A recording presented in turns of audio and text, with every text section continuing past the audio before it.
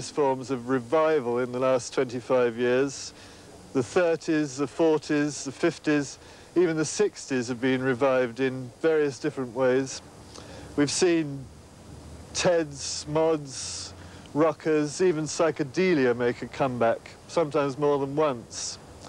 But when a few weeks ago I started to hear that punk was reviving, I was very surprised, because I didn't even know it was dead.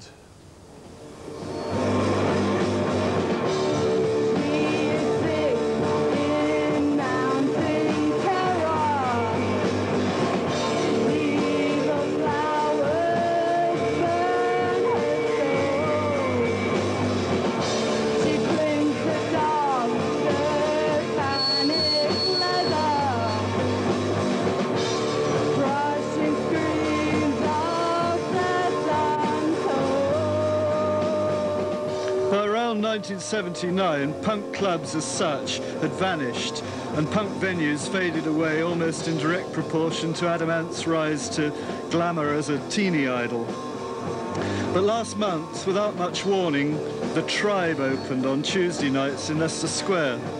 Here, if you like Mohican haircuts and bondage trousers, you can pogo to progressive punk groups like Blood and Roses. This is their first single, which came out last week.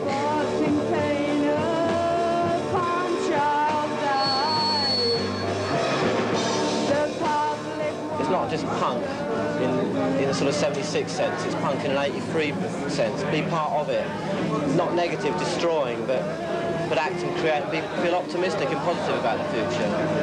Well, we want people to see the band, not just come down because it's a club and just to doss around and pose, be looked at, be seen by other people, their dress and all that shit. Because I think that's that's what happens in a lot of clubs today. You know, it's, Wimp, it's McDonald's entertainment in places like the Palace, and we want people to come down here, be the club. That's what we really want. The people in it to be the club. Uh, it's more down to earth. Don't get so many people posing around the place. A bit more at ease here. You didn't have a chance to be in the original thing, and this is your Yeah, chance I was to... about 12 years old at the time, and in Italy you don't hear about these things until 10 years later. Yeah. So, you know, obviously their dress is different, their attitudes are slightly different, and music taste is slightly different. But I think they've continued in the same way. To me, it's a welcome relief from the glossy nostalgia of Blitz kids and new romantic glamour. All more the expression of a desperate fashion world than the explosion of the zeitgeist. Now sweaty old punk is back, and as in 1976, when the Sex Pistols became the ferret at the throat of that frightened rabbit, the music business, the reasons are chiefly boredom with the current scene.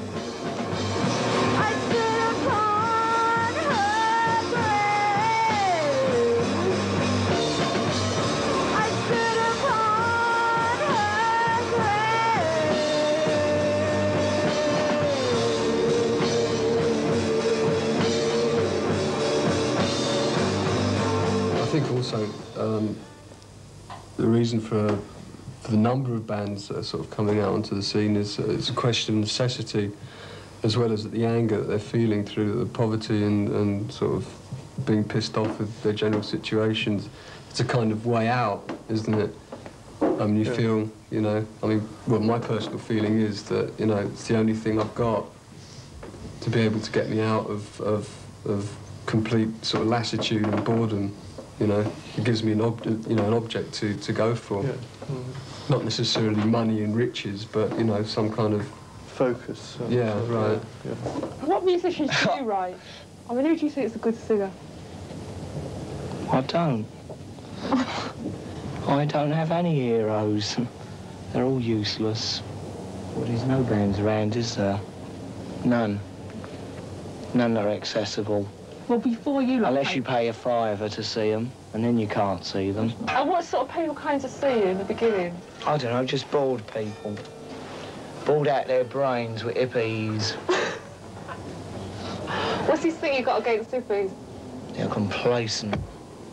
You're just attacking Top of the Pops and the sort of bands that are on there. What do you think they're relevant to the kids 16, 17? Of course they're not.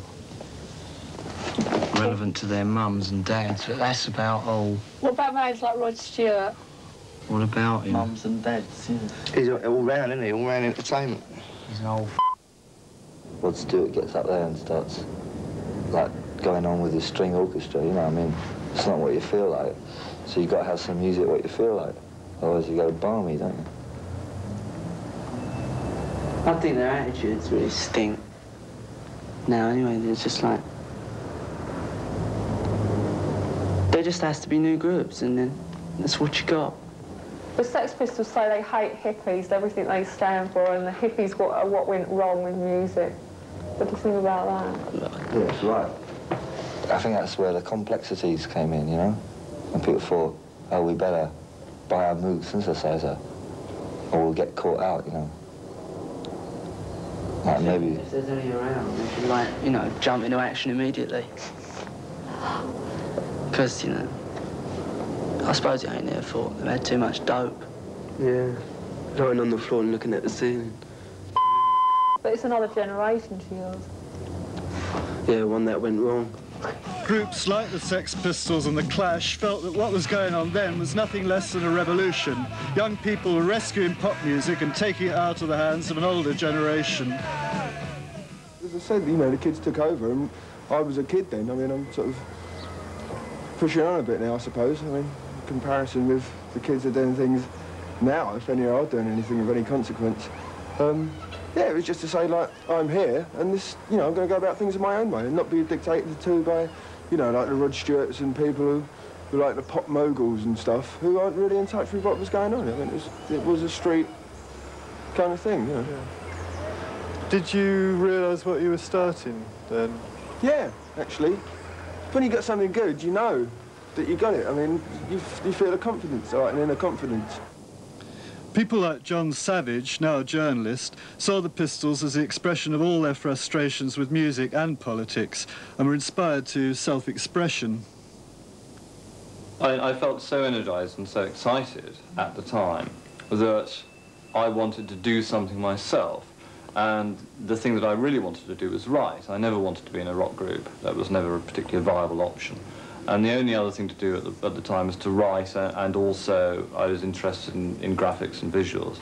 So um, I was working at the time, and in my lunch hours, and any time I could sneak away, I stuck together